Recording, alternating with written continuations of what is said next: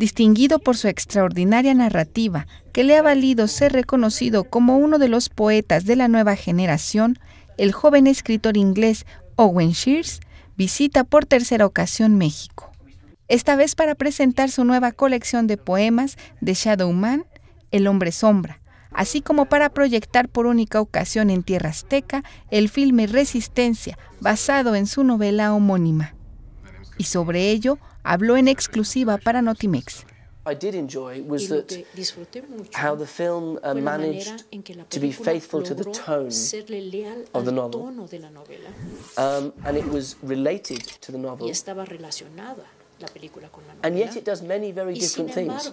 Eh, sigue otros cursos diferentes, ¿no? And I think cosas diferentes. that in um, adaptations from novels, en el caso de adaptaciones de novelas, this is quite, this is quite often what I'm most interested in. I want the film con mucha frecuencia esto es lo que to tiene do más para mí, que quiero que la película haga algo distinto, diferente, with the same story. con la misma historia. Resistencia, editada en castellano bajo el sello de Alfaguara, es la primera novela de Shears y ha sido ganadora de varios premios literarios y traducida a ocho idiomas.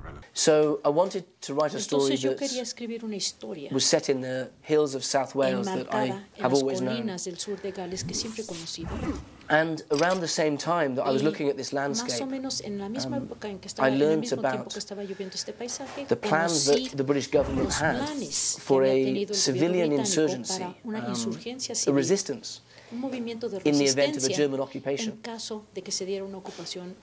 Fue luego de conocer la experiencia de un granjero nativo de las colinas del sur de Gales que a los 17 años fue reclutado por el gobierno para unirse a la insurgencia británica durante la ocupación nazi, que el joven Owen decidió hablar de esta experiencia moral y de vida. And that was when Know, pray for.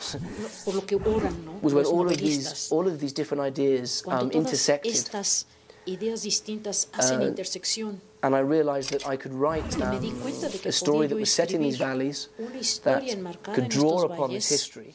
Aunque la experiencia de trabajar en la adaptación de Resistencia para el cine fue una experiencia única, el escritor aclaró que no dejará la creación literaria.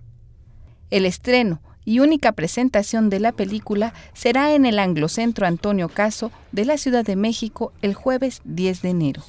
Con información de Juan Carlos Castellanos, Notimex.